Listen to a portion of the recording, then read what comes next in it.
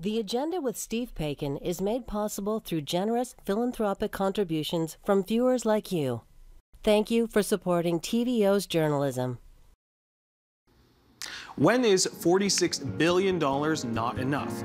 If this week is any indication, the answer to that question is when Canadian healthcare needs a transformative new deal. We'll explore that tonight. Then, from our Ontario hubs, how investigations are conducted into unmarked graves at sites near former residential schools. And from how to talk to young people about anti black racism to keeping kids safe from online exploitation, we've got the agenda's week in review. It's Friday, February 10th, and that's all ahead on the agenda.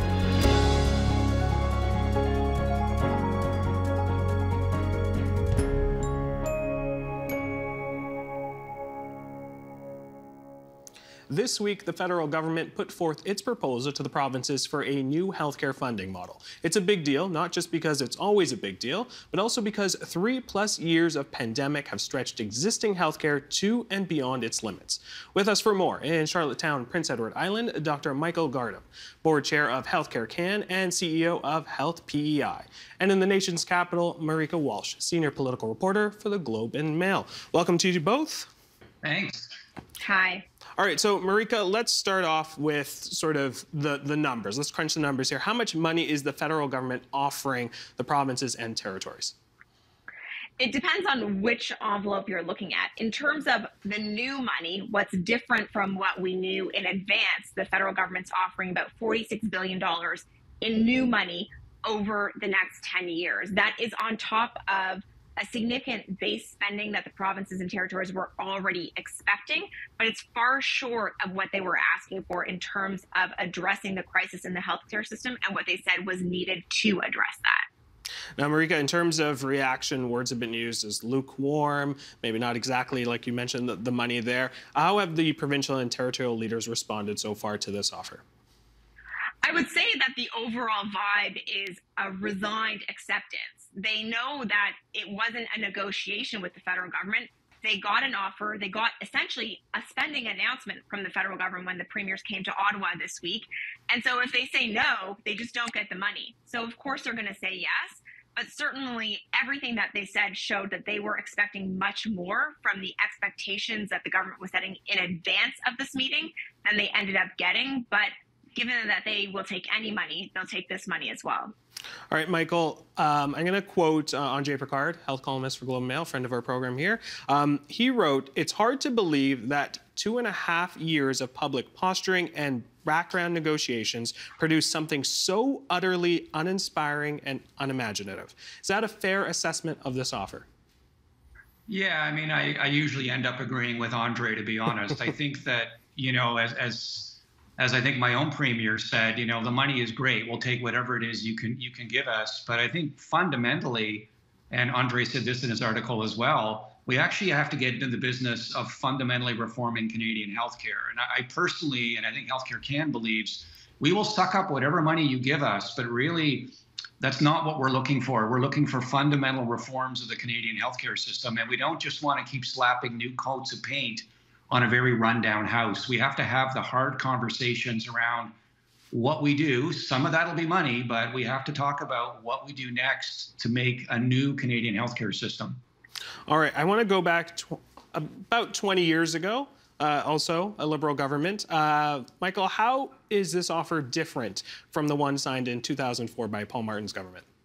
I mean, it, it, really is quite quite similar in a way, right? We're we're continuing to you know fund the status quo, but we have to go back and look at what Canadian healthcare was when we when we created our public healthcare system. It was basically hospital costs and doctors' fees, and that was a time before we had ICUs and MRIs and all of these uh, special cancer drugs, and it goes on and on and on and on and on. And all of these big funding announcements have been to try to prop up the existing system or add more things to it. But we've never gone back and actually challenged the fundamental principles about what we're doing here and, and whether we can possibly afford to fund everything that people think we should have. So in a way, it's just adding more money to the to the pile, but it's not really getting us to the point where we have to have the hard conversations. Marieke, does this offer come with strings? So, uh, if I could just back up a little bit to uh, tee off some of what Michael was saying, because I think there are some really important points here. And the question is also who is responsible for those conversations mm-hmm. around the structure. I think a, the federal government in itself might have hurt itself by talking about sort of this massive influx they were going to put into the system. They were talking about changing the healthcare system. They were talking about fixing a broken system. Those were their words. And so then, of course, they set the expectation that we would see some sort of response to that. But the premiers are not looking to Ottawa to come up with new ideas and to innovate in their 13 healthcare systems. We don't right. have one healthcare system in Canada. Right. And so I think it's also a question of organizations like Michael's are rightly saying there needs to be change, there needs to be structural reform. But is Ottawa the government that should be doing that? And I think many people would say no, because they are not the ones that hold the power, the levers on the system. And so people are looking to Ottawa for answers, but at the same time, Ottawa is not necessarily the best place to do that. And the premiers are not asking Ottawa to do that.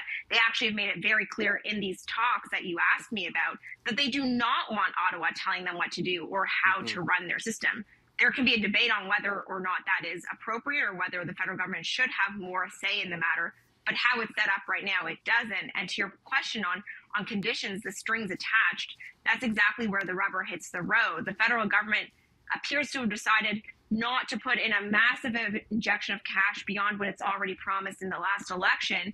But at the same time, it's not putting any consequences for that spending. So, yes, there are conditions in terms of where that money can be spent, but there doesn't appear to be consequences for if a result isn't reached or if the money doesn't lead to better outcomes or shorter wait times.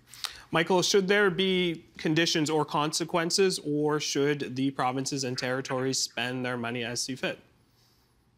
You know, that's the that's the big tragedy of of Canadian healthcare is that we've spent the last 60 years kind of pointing fingers at the feds, or pointing mm-hmm. fingers at the provinces. I mean, from our take, you know, the federal government obviously has a role in setting those guiding principles, and probably most Canadians would agree with most of the principles in the Canada Health Act, right? If I get sick in Ontario, I don't want to be told that I'm not part of that insurance plan, therefore I, am not able to be treated. I think most of us would agree with most of the things in there, but we've really gotten to this point where, you know, the, the, the provinces have argued repeatedly, as was just said, this is their responsibility. And, and in the Canadian Constitution, healthcare is clearly the province's responsibility. Well, you know, to paraphrase the Spider Man movie, with great power comes great responsibility. If you're going to own that, then it is up to you to reform it. And I think we're playing this game where they can hold off trying to make serious reforms because they can just get more money from the feds. And I think honestly that the, the, provinces have to take responsibility for something that they say they own. They need to get into the hard work of figuring out what does the future of Canadian healthcare look like. All right, I want to get some reaction from the opposition parties. Uh, Marieke, obviously for the Liberals, this looks really good. It's a nice win. What are the opposition parties saying about this offer? The liberals are sort of in the middle here, and I think they have cover because of that. The NDP say that the government should have actually spent even more than the massive amount that the provinces and territories were already asking for. They believe that Ottawa should increase its share of the cost to 50%, which would be tens of billions more each year. Meantime, the conservatives who are in official opposition have not actually said really, they never put forward their own proposals in advance of this announcement, these talks this week, but have said now that they will uphold what the Liberals offered in this 10 year deal if they form government. So there is maybe a bit more certainty for the premiers as to what's next to come, but of course, we'll have more elections before this 10 year deal is up. The Bloc Québécois believe that they, the federal government should have uh, met the premiers at their ask, which was to increase spending annually by $28 billion. So you see, you know, we're talking about these massive numbers, and all of these questions go back to what Michael is talking about as to whether it's needed to actually reform the system and to lead to better results. I think most people agree you do need some money to make change. Um, the question is, what is sustainable for Canadians? Rick, I want to stay with you. At the First Minister's press conference this week, Premier Ford uh, had used the analogy that this was a down payment. Now, I know housing prices in this in this country are quite expensive, but this was a little bit more than a down payment. I, I, my question is, um, you know, is there a room for negotiation? Is do we have an idea if the Premier is going to negotiate a better deal, or is this this is it? There appears to be absolutely no room for negotiation in terms of the dollar amount. Where there might be room for negotiation and where the government says there is room for negotiation with the premiers is where the money is targeted within the healthcare system. So some of the money will be spent through the what's called the Canada Health Transfer, and that's the base funding that goes to provinces and territories that they can spend how they want to. And then there's other targeted funding that go, will go through separate deals. And it appears that there will be room for the premiers to negotiate where that money should be targeted. So, for example, in Nova Scotia, that means that a focus is on primary care because they have massive waits for family doctors and for family care teams. Similarly, in Ontario, it's expected that money could be targeted there, but there's other options to target it to mental health care, to home care, to long term care, to wait times in surgeries and diagnostics. So there's sort of like a buffet, and the provinces and territories get to decide where that money in the side deals will go. Michael, as Marieke had mentioned earlier, it's a bit of an equation in terms of how this money is going to be spent and, and where it can come from. Uh, should they accept this money or push for something more? Um, I mean, honestly, the, the, the the priorities that were just mentioned are exactly what my priorities are. So, frankly, whatever money we can get right now, I I am very supportive of. It'll help us whether we spread it out or whether we focus on one particular area. I do think, though, we need to get to the point where we have got to stop throwing money at our healthcare system. We have got to start asking difficult questions about what we can offer, what we can't offer. I think one of the big tragedies of Canadian healthcare is the fact that we have 13 systems that don't necessarily collaborate. Um, we should be looking at a lot more collaboration between provinces to try to decrease costs and at the same time, you know, centralize those high specialty, high cost services that we could centralize. Not every province has to have its own thing. There, there's a lot of there's a lot of provincial ego involved in this. There's a lot of duplication involved in this, and we just don't want to see more and more money put into the healthcare system without reform. It's more money and and hopefully, if we do that, we will start to find some significant efficiencies in what we do, because we just can't bankrupt the country especially for a system which is not really providing the service that Canadians want. Marieke. I think uh, going off of that, you know, there's a question of political will from the premiers, and there's a question of if they actually want to do that reform. We know from other provinces' experiences that when they try to do wholesale change of the healthcare system, they experience a lot of pushback, a lot of fear, and it really pushes governments and and puts risks to governments' sort of longevity in the next election. And so there's a lot of reasons from an electoral prospects perspective why governments don't necessarily want to enter into these whole scale change discussions. And the question is, how do you get past that? When you look at Nova Scotia, for example, a few years ago, they changed how their health system is organized through the health authorities. And that essentially um, slowed down and, and froze the system as it tried to adjust to the new way of doing things in a way that then hampered healthcare delivery in the meantime and that caused a lot of problems for the then liberal government at the next election. And so it's a question of how these provinces and these premiers can actually do this while keeping the current train running. It, it's it's not an yeah. easy task that people are asking of the premiers, but it also doesn't seem that the premiers are that interested in it. Marieke, I want to ask you uh, about one particular premier, one particular province, uh, Ontario. The, the Financial Accountability Office of Ontario says the province has allocated 12.5 billion in excess funds over the next three years while spending less in the required healthcare. Break it down a little. Is this government justified in spending less on healthcare? Well, that's not for me to answer, but certainly it, the federal government here has repeatedly pointed out that most of the provinces are currently sitting on budgetary surpluses while the federal government is in deficit, right? So there is a question of a willingness to actually spend their own money versus going to Ottawa with an open hand. And that I think is, is a question then for voters. Pro- premiers will respond to what voters are demanding of them. And so it's also on voters to show up and vote and to vote with their feet and show people what their priorities are. Clearly, we know there are surpluses now in provinces, but given the warnings of an economic slowdown, the pushback from the premiers is that they need long-term sustainable funding that they can depend on. And so fluctuations in a budget cycle do not necessarily mean you can build a whole new hospital because will you have the money five years down the road to run it? So there's arguments on both sides, but I think it's clear from that report from the financial accountability officer that more money could be coming from Ontario, at least for now. All right, Michael, we talked a little bit about sort of where uh, where the money needs to go, but what areas of the healthcare system need that money urgently? And I, am wondering if you have some examples as well as sort of that strain. Yeah, I mean, you know, it's it's it's hard for people not in healthcare to understand how difficult the pandemic has been for healthcare workers. Um, you know, the whole population went through types of lockdowns and having to mask and things but we we've never left the pandemic. We're still masking people are tired et cetera. And so we have had a lot of people leave the system. So certainly health human resources are absolutely top of mind.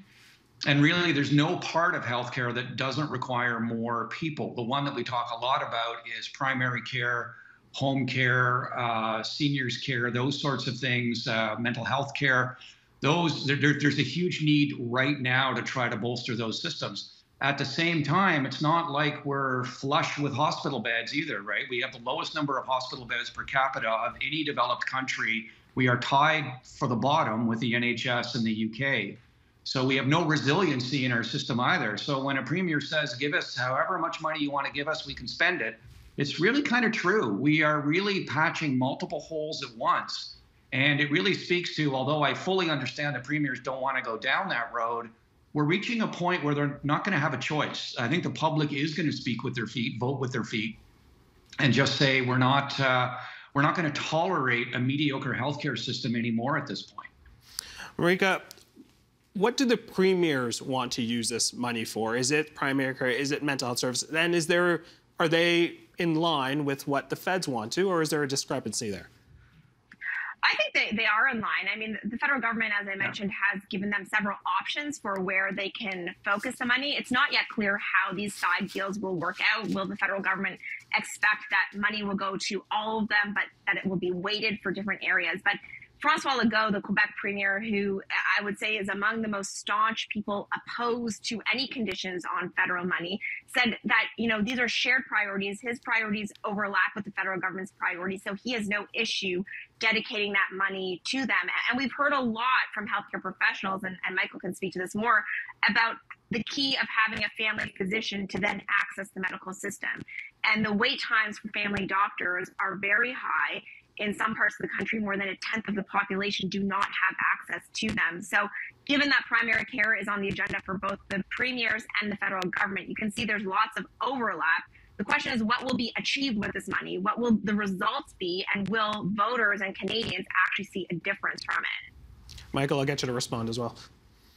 Yeah, absolutely. I mean, primary care is is a huge focus across the country. I mean, here in my province, we're we're talking a a, a considerably higher uh, proportion than just ten percent.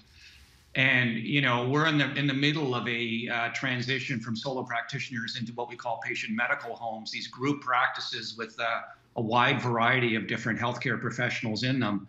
That's clearly the future. That is requiring a lot of money.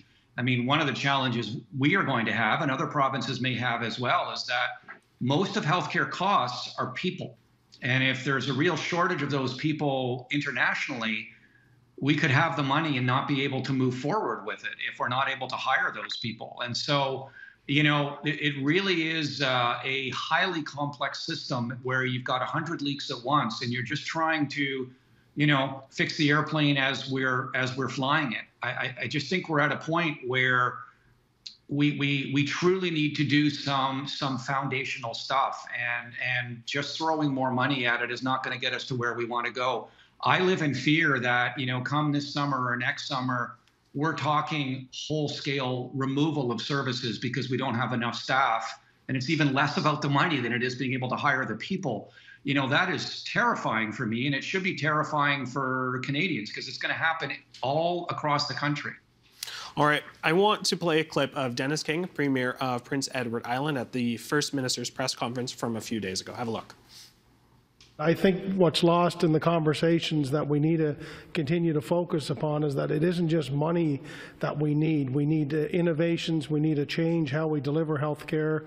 Uh, we need to help uh, innovate the healthcare system in many, many regards. And I feel the conversation over the last little while with, uh, uh with the Council of the Federation and with the Prime Minister and with federal officials, uh, we've led maybe Canadians to believe that money simply is going to fix this. and that is not totally accurate echoing exactly what both of you have been saying. I do want to pick up on, on one word there, innovation. Um, what innovations would you like to see in the healthcare system, Michael? You know, there, there's there's many. I mean, if we talk, I mean, first of all, that's why I love that guy, and that's why I'm working in PEI because I think we are very much aligned. Um, I do think, though, that you know, innovation doesn't have to always be technology, for example. So, one innovation is this move away from solo practices into large group practices. Doctors are far happier there. They don't need to be the center of the universe, but rather their role can be to support all the other professions. Um, it leads to less burnout. It's easier when people go on holidays. That's one innovation. A lot of the um, uh, innovation here in Atlantic Canada has been around how can we collaborate on various things. So that really stands out in Prince Edward Island, where we're not able to provide all the services you're going to get in Ottawa. We just do not. We don't have cardiac surgeons. We don't have thoracic surgeons. So we are we are forced to collaborate with other provinces. We can do a lot more of that, right? We're talking about having one license for all of Atlantic Canada. We're talking about breaking down barriers to allow uh, really Canadians who are training overseas, who right now all go to the US because we, we, we put up barriers to hire them. All of these things are kind of happening at the same time. So a lot of them are more business practice innovations rather than technology per se, but of course, electronic health records, gathering more data, uh, you know, proper use of virtual care so that we can get access to services we could never host in this province. All of those things are happening as we speak. Um, it's going to take a few years for them to turn around, but we're we're getting there. And it, I'm fortunate to have a a government here that actually understands it's more than money. Rika, I'm going to get uh, you in there as well. When we talk about innovations, we uh, you know we talk about the data collection. I think that was uh, one that both the feds and the province all agree on there. Um, and you know, Michael touched on sort of why it's necessary. But when we talk about innovations, what can we potentially be seeing? Well, and, and maybe to, to be fair to the premier, as you can tell from from that quote from Premier King and from other premiers, that they are aware of this issue. They they do want to work towards it and do appear to want to provide better health care. But the cynic says, well, you spent the last two years debating money instead of having these roundtable discussions maybe about that innovation that Michael's talking about, about that collaboration, about why is it that we have different credentials for each province across Canada and that it's not the same across. Um, so in terms of what innovation is, I can't speak to what it should be. That's really for Michael to say. He is he's the expert on the front lines. But we know that all premiers have agreed that it needs to happen, that there needs to be change. The question is, what do they actually do, and how fast does that happen? All right, in the last two minutes here, I got two questions for you. Michael, I'll come to you first. You know, as Canadians, this is healthcare is something that we are very proud of. Uh, but over the last couple of years, and obviously the years before that, we've seen the kinks and, and sort of the, the, the shield has, has some, some damage to it. Um, should Canadians still be proud of their healthcare?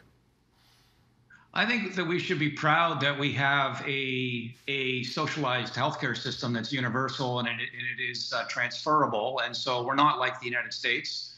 However, I'm glad to see that the air has been let out of the great myth that we have the best healthcare system in the world. We don't. We have one of the worst performing healthcare systems in the world. And as long as we keep comparing ourselves to our American cousins, we don't look so bad.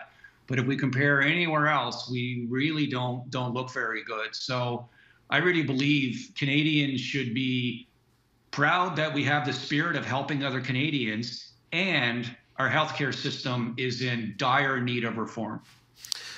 Marieke, you get the last word here. What uh, are the next steps? What should we be looking out for?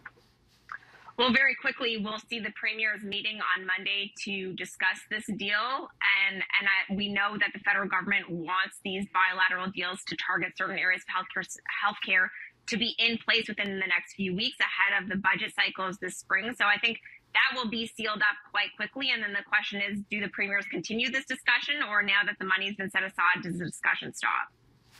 Marieke, Michael, thank you so much for joining us on the program tonight. Really great stuff. Thank you. Thanks so much for having me.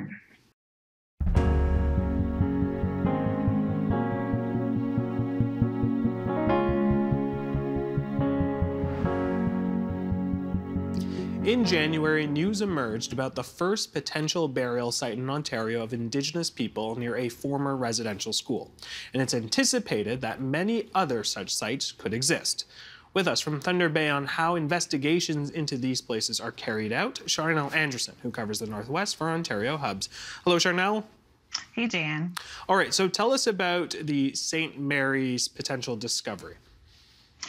So last month, uh, on January 17th, actually, Wauzhushk First Nation uh, became the first community in Ontario to announce that they found 171 anomalies or plausible burials within cemetery grounds associated with St. Mary's Residential School.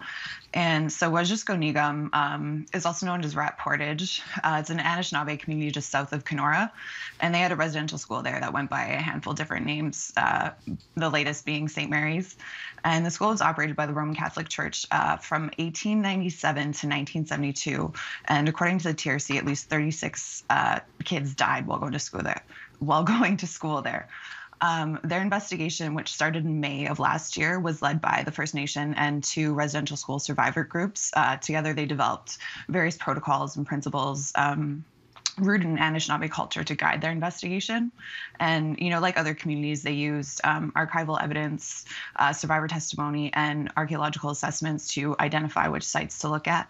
And so, using that system, um, along with ground penetrating radar, is how they identified these 171 plausible uh, grave sites. All right, so we have a couple of photos. Uh, tell us what we are looking at here. Yeah, so uh, this is a black and white image of the back of St. Mary's, which, um, as you can see, sat not far from the shoreline that um, I believe is Lake of the Woods there. And so that was built in 1897. Uh, it's a brick building with two or three floors. Um, there's a series of dormers along the roof. And I understand actually that site is not far from uh, the Devil's Gap Marina. And in that part of Lake of the Woods, uh, there's a bay called St. Mary's Bay. All right, and another photo here. And so, yeah, this is another black and white image. Um, that would be the front of the building that we just saw. Uh, the date says 1929, and there looks to be, you know, uh, 100 or more students, boys and girls, um, all lined up in front of the school. They're on the deck there, down the stairs, and in front of the school. And actually, you know, the school operated for 75 years, hmm. uh, and during that time, more than 6,000 kids from 33 different communities uh, went or were taken there. So Charnel, since 2021, when the unmarked graves were discovered in Kamloops, British Columbia, approximately how many sites have been looked at now? Yeah, so I mean, obviously, since uh, the announcement out of Kamloops, um, you know, there's really been this reckoning, not, not just in Canada, but internationally, of the treatment um, and deaths of Indigenous children who attended, you know, these church run, state sponsored residential schools. And, um, you know, after Kamloops and Cowessess, these announcements that really resonated with the public, um, the federal and some provincial governments um, announced funding to help communities investigate potential grave sites. And I don't have a, pre- a precise number, but there's been dozens of investigations into potential unmarked graves across much much of the country. Um, you know, they're all in different phases. Some communities have announced their findings, others have not. Um, but that's sort of the thing with this. You know, it's really an individualized process, and every investigation is unique. Now, as you mentioned, there was national and global coverage and reaction to, to Kamloops. But I don't think a lot of people know this that some discoveries uh, of unmarked graves were as long like were, were discovered as long as 1974. Uh, take us through a bit of the history of unmarked graves in this country. Yeah, I think, you know, this is something that sort of gets lost in the discussion of unmarked graves near residential schools. Um, you know, Kamloops got a lot of attention, but it was not the first site where potential unmarked graves were found or, you know, actual graves were found. Um, you know, so for example, just two years earlier in 2019, um, near Muskowekwan Indian Residential School in Saskatchewan, a team of researchers identified 10 to 15 potential burial sites. Um, and as you say, this is the earliest investigation that I'm aware of um, in 1974 near Battleford Industrial School, also in Saskatchewan.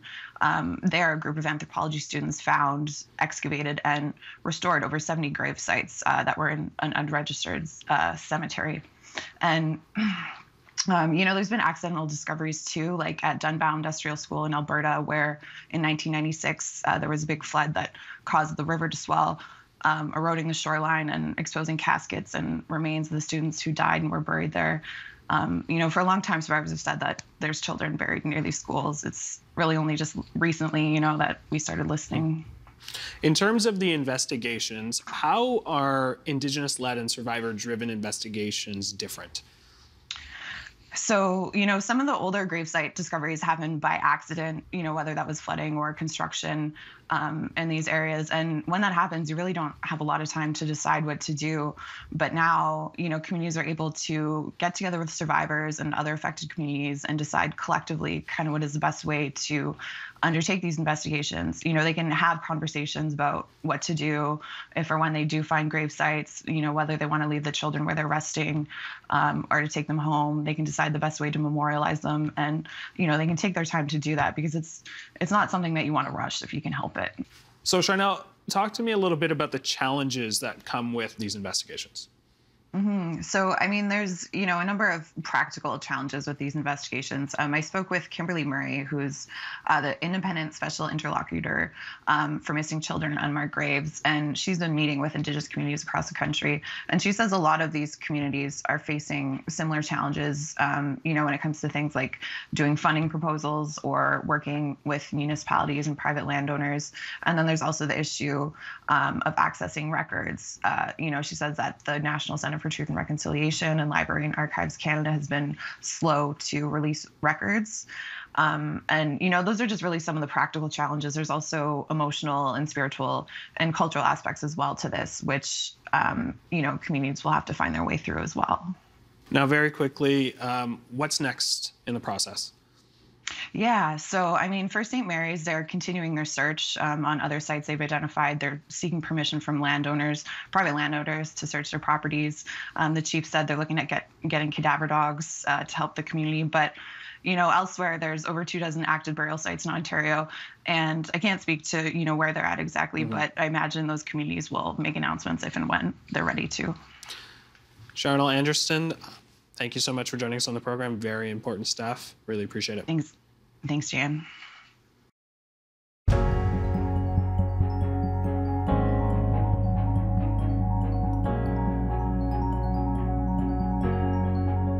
The agenda this week heard from parents on what they say to their kids about anti black racism, learned how economists untangle data, and spoke to political scientist Francis Fukuyama about liberalism. The agenda's week in review begins looking at the rise of online exploitation of children. Lianna, let's get to this. Why are we seeing increases in cyber crimes targeting youth in Ontario and across Canada, in your view? Well, I think there are a couple of reasons, uh, Steve. We're really in the perfect storm right now. Uh, when you look at the epidemic of COVID, kids spending more time online, um, isolated, um, you also have access to platforms where we see adults having free access to children within those uh, environments and also you have you know uh, child development you have kids who are exploring um, their own sexuality they're you know spending time online and we have very sophisticated um, uh, networks of individuals who commit crimes against children. So basically, it, it really should not be a surprise to us. And then on top of it, uh, what we have is an unregulated internet. Hmm. All right, Nora, can I get you to follow up on the COVID angle? How much has COVID been responsible for the uptick that we've seen? I think COVID has complicated and increased the risk for a number of reasons. Before COVID, children had multiple um, outlets or opportunities to socialize. They had uh, friends that they could go out with and hang out with, but we had to put an end to that during COVID. And so children were isolated and quite literally left to their own devices, which resulted in them starting to, you know, experiment much more online and um, probably engage in riskier behavior without perhaps gaining a full appreciation for the potential consequences. So when you have inabilities to engage socially or in person, they're trying to maintain that social engagement or interaction online using different platforms. It's another un unhealthy byproduct of COVID that perhaps some people didn't consider. Yes, it is. Huh. Okay, Michael, uh, lots of terms here that we need some clarification around. For example, uh, the offense of self-exploitation. What is that? Yeah, so essentially self-exploitation is we are having kids as young as four years old. Uh, they are on their electronics and they're on certain social media platforms. And as Lianna said, sometimes it could be that they're experimenting with themselves or they inadvertently post images or videos of themselves online. There are four-year-olds with their own iPhones? iPhones, their own accounts, their own email accounts. They are very knowledgeable and very advanced to what you would think a four-year-old would know about the internet and devices. Do you have any advice to parents on the advisability of getting their four-year-old an iPhone and an, and an Instagram account to boot? I would not recommend it. And those that do have access to devices, I would recommend uh, overseeing them uh, quite a bit. Okay, Lianna, another expression here, sextortion. What is that? basically it's blackmail. What we're seeing is kids who are being targeted, they're being coerced or tricked into um, giving a, a, sexual image of themselves, typically um, is what's happening or video. Uh, what we know is we've got very sophisticated organized crime networks that are making a lot of money in this capacity. And uh, we have kids who are completely being duped. They think they, a young boy might think they're talking to a pretty girl, and basically within a short time frame, they're, um, you know, ex- exchanging images. What happens very, very quickly is it, it turns to demands for money. And many of these organized groups are outside of North America. So it makes it incredibly complicated um, for law enforcement efforts. But more importantly, these kids don't stand a chance. And so um, it's really, really concerning. And since July alone, we've had 1,700 uh, reports come into us about sextortion. Oh, I got more on this. Hang on. Sheldon, uh, follow me here if you would, middle of page two. Uh, we have uh, a lot more facts to introduce to the record here. Stats gathered by the Canadian Centre for Child Protection about the increase in youth being sextorted, as the term goes. Uh, these numbers gathered between July 2022 and January 2023, so six-month period. Cybertip.ca currently receives an average of 70 sextortion reports per week. The National Tip Line received more than 1,700 sextortion reports in total. 91% of sextortion victims are male. Typically, boys are extorted for money, girls are extorted for images. Sextortion demands for money often come from international organized criminal networks, as Lianna was telling us. 79% of sextortion incidents occurred on Instagram or Snapchat.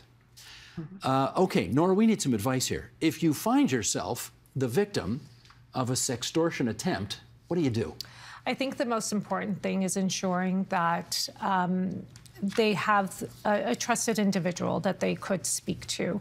And I think one of our biggest efforts is to really remove the shame and blame that's associated with making mistakes. These are children and youth who are, as Leanne mentioned, experimenting, and they're experimenting in areas, in non-traditional areas. And, and um, the internet being what it is and, and being unregulated, it creates a whole other level of risk. So I think what we need to do is really focus on providing caregivers, parents, teachers the tools they need to be able to engage in these conversations, to be able to identify these situations and proactively engage with children and youth on some of the risks and dangers associated with it.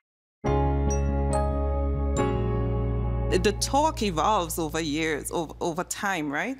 But at elementary school, it was the talk about how to keep himself. Mm understanding that black boys in school, uh, diagnosis around ADHD, everything in school becomes a problem for black boys.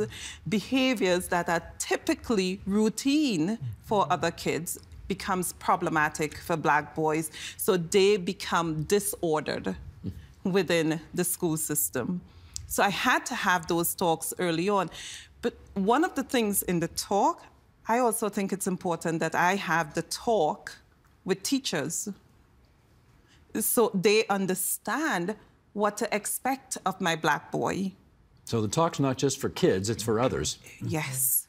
Because I think for too long we, we focused on we need to keep our black boys safe, our black children safe. And that's unfortunate that we have to engage in this level of protection and safety just to keep them alive. And we should say your your son is one of the top divers in the whole country. Yes, he's he going is. to be he's potentially going to be an Olympic level diver someday. Potentially, yes. Okay. Yet I'm having the talk because even his successes as an elite athlete doesn't keep him safe. Hmm. Okay, Earl, uh, we've set the table for you here, so come on in here and tell us about. In fact, if if you could build on Kathy's answer, how the talk evolves over the years as children go from elementary school to high school, etc. Yeah, well, I think, you know, as a psychologist, we oftentimes talk about the need to be age appropriate with those conversations. So I think a big piece of it is as kids are younger, you may be giving them really basic, minimal information. And as they get older, you can have more of a dialogue and conversation with them about their own perceptions and experiences with the world.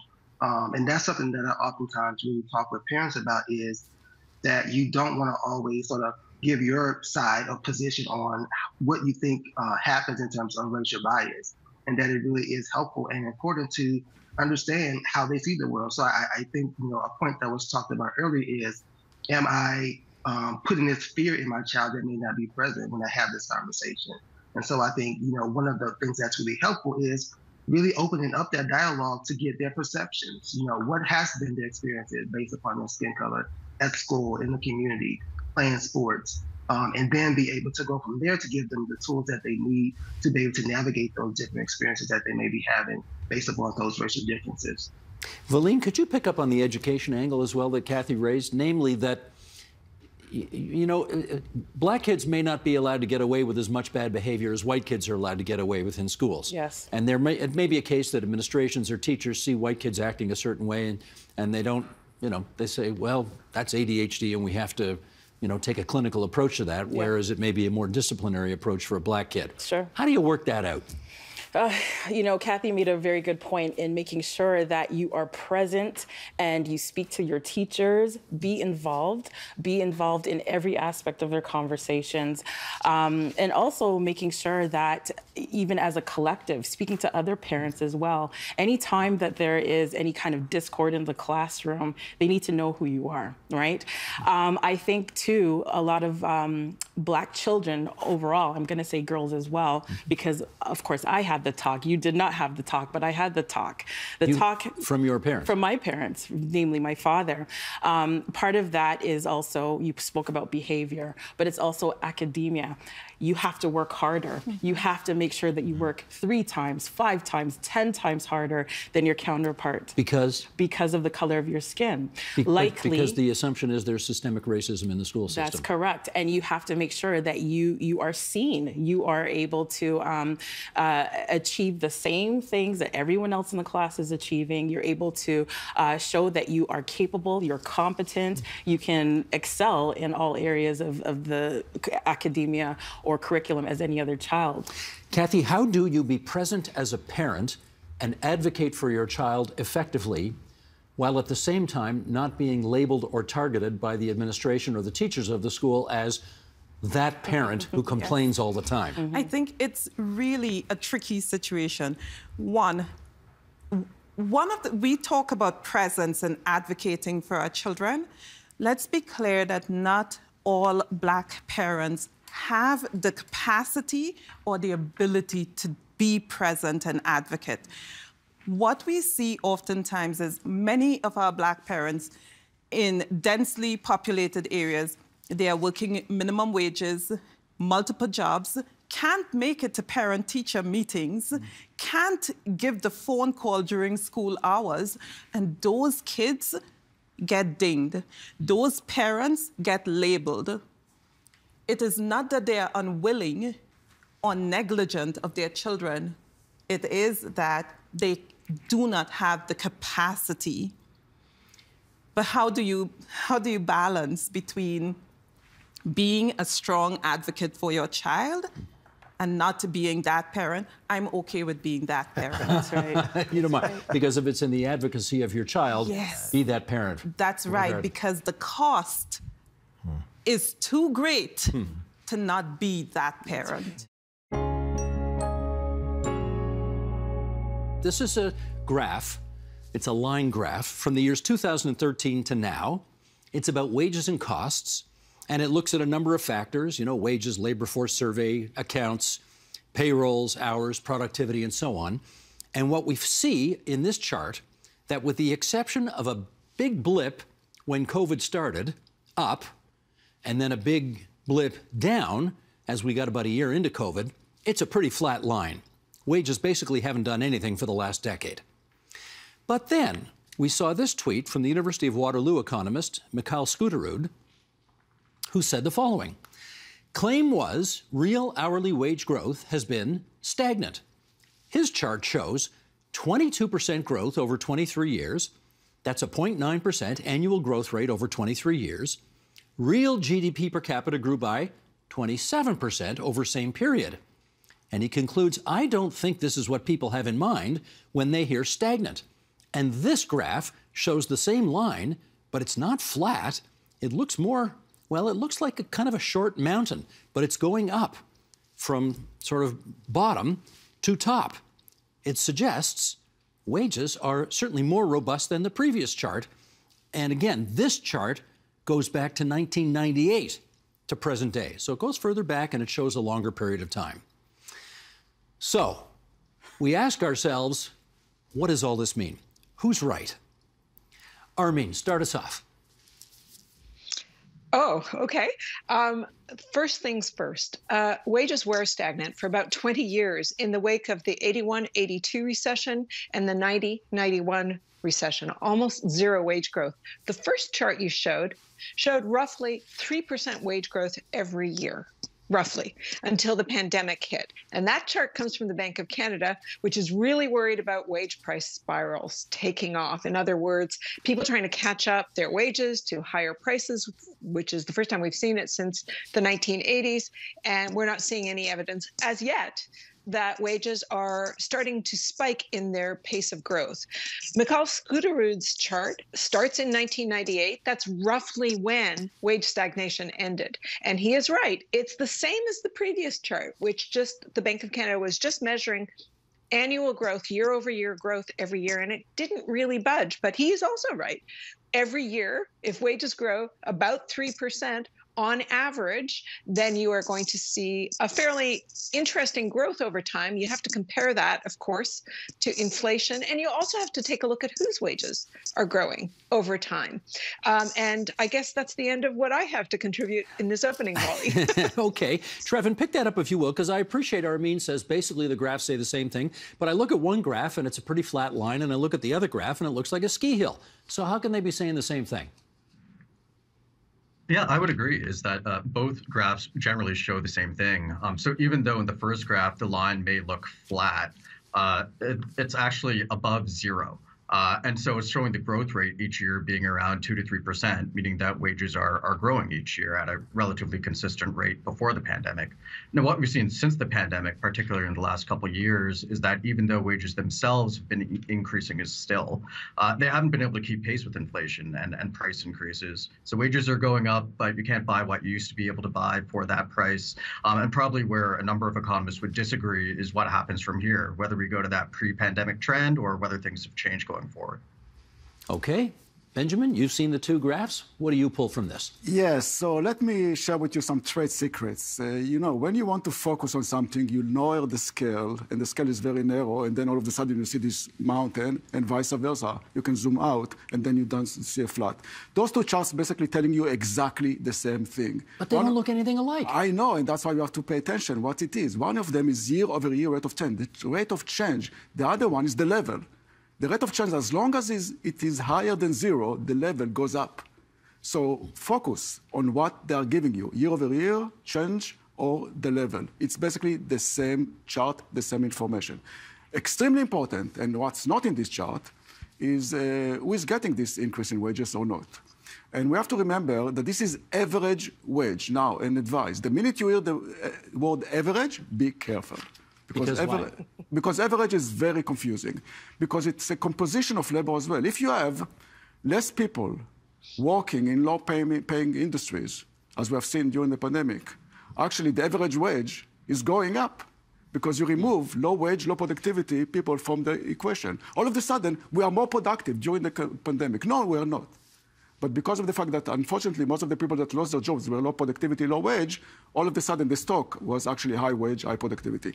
Be careful here. You have to look at the composition. And then, okay, who is getting the increase? Low wage, high wage, the average is very misleading. Hmm. So we, we, we really have to drill down deeper to that next level down to really understand what's going on here then. And that's why there's no clear, simple answer. The chart tells you only part of the story. Uh, your fear that accomplished liberal societies feature, quote, a lack of purpose or a spiritual emptiness. Can you give us some advice on how we might deal with those two problems? Well, uh, you know, that goes to the essence of a liberal society. In, in a liberal society, we agree that we're going to disagree about the most important things. We're not going to define our uh, common aims in terms of a religious idea or, you know, a, a very strong national idea because we live in pluralistic societies where people are able to do uh, what they want. And I think that you know the degree of pluralism that we have, especially here in North America, is such that it's hopeless to think that we're going to ever you know march in the same direction in terms of basic religious values, or, or you know we're we're not simply one uh, ethnicity. And I think that you know in many respects that becomes a strength. It- the you know, it's kind of a cliche to say that our strength is in our diversity, but in fact, you know, the ability to absorb immigrants, to uh, actually create a society out of, you know, a very complex texture of ethnicities, races, uh, and the like uh, is, you know, something that I think becomes necessary as your economy and your society uh, develop.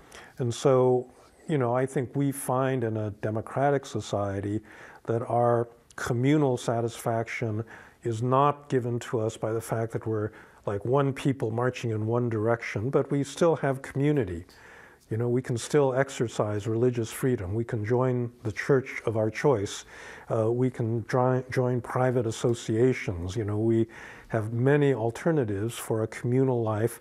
It's simply not going to be one single uh, direction dictated by one single person at the top. And I think that, uh, you know, is a much more desirable expression of our in, intrinsically social natures, you know, than an authoritarian regime provides.